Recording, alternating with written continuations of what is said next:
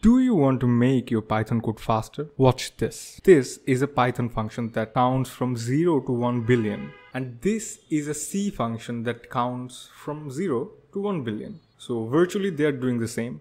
And as we know, Python is slow and yada yada yada. So we're gonna call this C function from Python. So to do this, we have to first compile the C code into a shared library.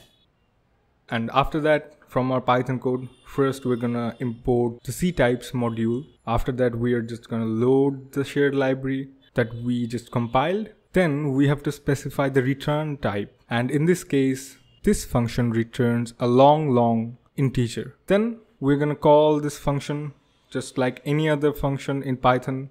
And after that, we can just run our Python program as we do. And already the C function counted from 0 to 1 billion.